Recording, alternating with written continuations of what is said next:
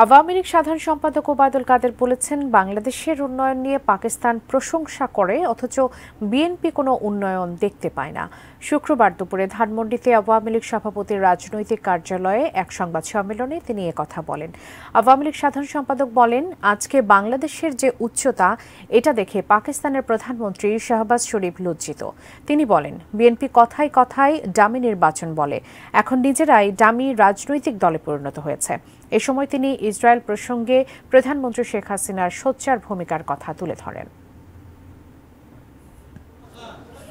আজকে বাংলাদেশের যে উন্নতি বাংলাদেশের যে উচ্চতা, এটা দেখে পাকিস্তানের প্রধানমন্ত্রী শাহবাজ শরীফ লজ্জিত হন।